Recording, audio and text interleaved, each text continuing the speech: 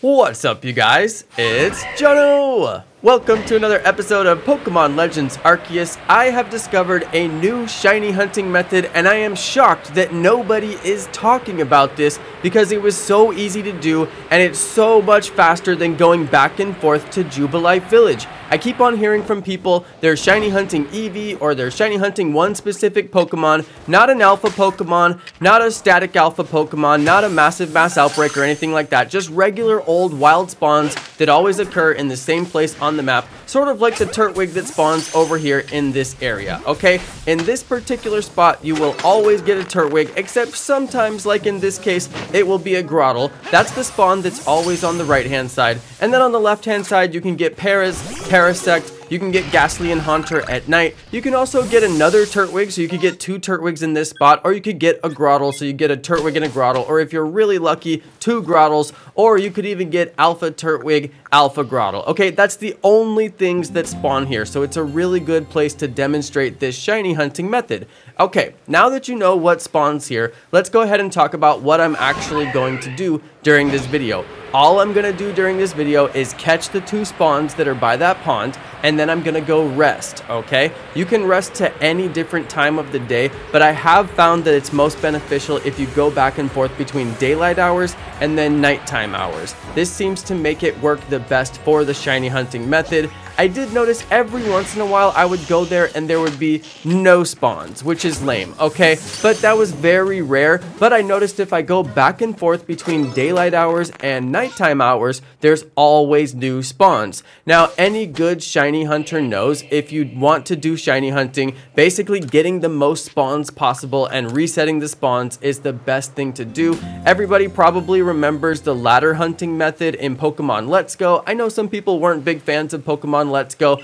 but that ladder hunting method was the truth. It was a really quick way to just reset all the spawns in any given room. Some people also use the door method, which was exactly the same. It was just a quick way to get all the spawns to disappear, and then when you went back downstairs, down the ladder, you would get brand new spawns, and you could get really fast and easy shinies. This is another way to do that, aside from you do have to catch all the Pokemon. So what you're to notice I'm doing during this video is I go to the spot where the two Pokemon spawn. It's always a Turtwig, except sometimes it's a Grotle, and the other one is usually a Paras or a Parasect. Then I'm to catch both of those Pokemon. The reason I'm catching them is because I need them to despawn, so once I go and rest, then I can get new spawns. Now, one thing I did notice with using this method is that I ran through a ton of Sticky Globs and Ultra Balls, so I hope you know how to make a lot of money in this game and become a millionaire, and you can get tons of Sticky Globs and tons of Ultra Balls, and you shouldn't have any trouble with this method.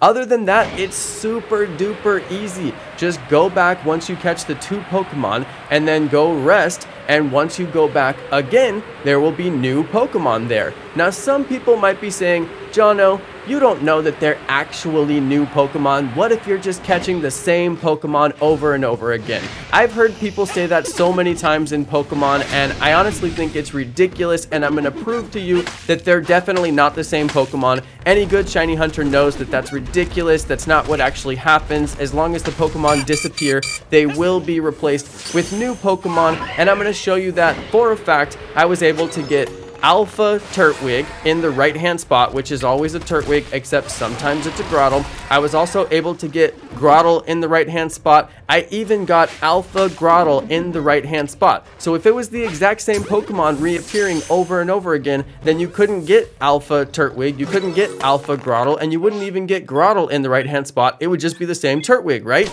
Now, one thing you may notice I'm doing during this video is I'm allowing the Turtwig to run away. That's just a behavior that's specific to Turtwig. Not all Pokemon are going to run away, but I'm actually saving some items by doing that. I don't want to throw my Ultra Balls at Turtwig. Sometimes they do bounce out, and I don't want to use up all my Sticky Globs because they're very expensive. So are the Ultra Balls. So I'm just letting Turtwig run away. For a little while, I was like, hmm, I wonder if it is the same Turtwig. But as you can see, I got the Alpha Grotle to spawn. It's obviously not the same Turtwig. Now, you guys, I did this for like an hour and a half. I was like, I am gonna show the people a shiny on this video. Guaranteed, I got to get the shiny. Well, I did it pretty much all day today. I was doing this for a really long time. I couldn't get the shiny. Alright, that's okay. But then I thought to myself, hey, I wonder if this actually works on Unown. So then I decided to do a little migration over to where Unown spawns and sure enough, it actually does work on Unown as well. So I may have to do a whole Unown shiny hunting video just to make it clear that it is the best shiny hunting method for Unown. I definitely want to show you guys this really does work. All I'm doing is going back and forth to the camp and I'm resting. Now, I'll give you a couple of details that I found out. I was doing this for about two hours and I did find some nuance. Every once in a while, I would go and there would be no Pokemon. That's lame, okay? There would just be no Pokemon there. So I started resetting from morning to midday to the evening and then to the night and then back to morning and going through that cycle. And every once in a while, there would be no Pokemon. So then I thought to myself, well, does it still work if I just keep doing morning over and over and over again? So then I just kept doing morning over and over again. That actually worked really well, aside from sometimes there would be no Pokemon. And I was like, hmm, I don't want to show people a shiny hunting method where sometimes there's no Pokemon. So then I thought to myself, what if I go morning to night and then back to morning? I do think that this has something to do with the way that Pokemon respawn in the evening. I'm not positive about that. I actually can't figure out how this works, but I do think it has something to do with the way that Pokemon respawn during different times of the day.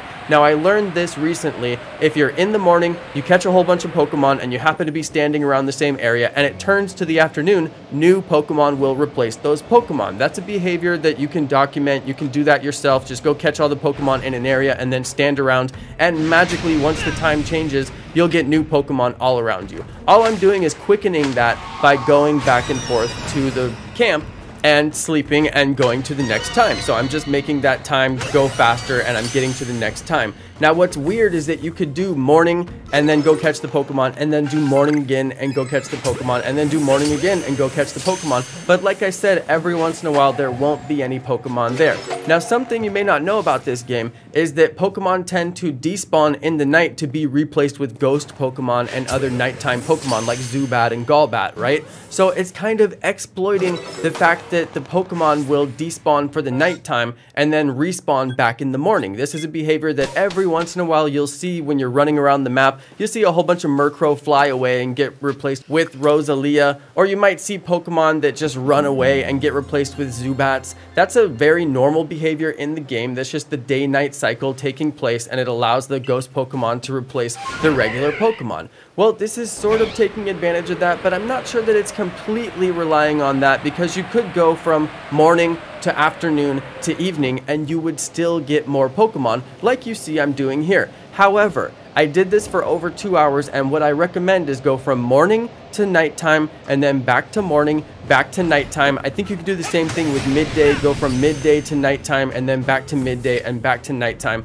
I noticed when I did it that way, I did not get any of those instances where no Pokemon spawned. Pokemon were there every single time. It was the fastest shiny hunting I could possibly do. Now, unfortunately, like I said earlier, I wasn't able to get that Turtwig. I really want to get that shiny Turtwig in this spot because it's just such a cool spot where Turtwig is always guaranteed to spawn. So I'm going to keep on checking this area in the future. But let's go ahead and migrate over to Unown. I was able to do this with Unown and I was shocked that it actually works. It was really impressive to me. I basically went over and caught all the Unown and then I went back and rested till the evening and then I went back again and there was more Unown and some of them were even alpha. And yes, I even got a shiny Unown. So I guarantee this has got to be the best shiny hunting method. Obviously, it's not for massive outbreaks. It's not for mass outbreaks. It's not going to be for the static alphas. It's not going to work for those. But it's a really great way if you know where there's a particular Pokemon you're looking for, such as Eevee, for example,